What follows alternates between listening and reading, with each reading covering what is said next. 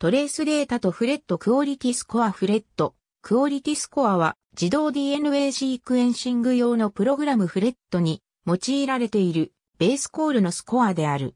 フレットクオリティスコアはトレースからベースコールを行う際に各塩基につけられる。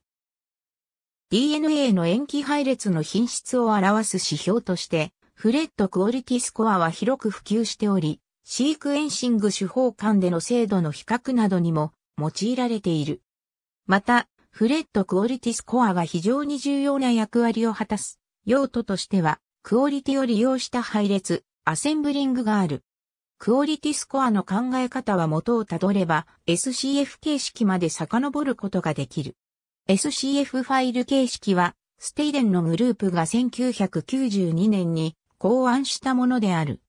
1995年にボンフィールドとステイデンは DNA シークエンシングプロジェクトにおいて塩基単位のクオリティスコアをコンセンサス配列の精度の改善に使う手法を提唱した。しかし、初期の頃の塩基単位でクオリティスコアを予測しようという試みはあまりうまくいかなかった。最初に成功を収めたのがフレットというプログラムである。フレットは非常に高い精度でクオリティスコアを算出でき、実際にエラーの確率とよく対応していた。フレットは速やかに主要なゲノムシークエンシングセンターから各研究室に至るまで広く使われるようになった。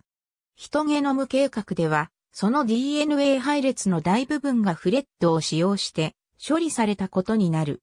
DNA の塩基配列決定において、フレットクオリティスコアが不可欠となった後、LI コルやアビなどの DNA シーケンサーのメーカーは彼らのベースコール用ソフトウェアで同様のクオリティスコアを出力できるように開発するようになった。フレットのベースコールとスコア計算法はユーイングらによるものである。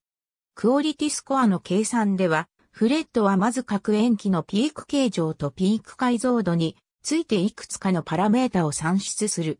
次に、フレットはそれらのパラメータを使用して巨大な参照表群から対応するクオリティスコアを取得する。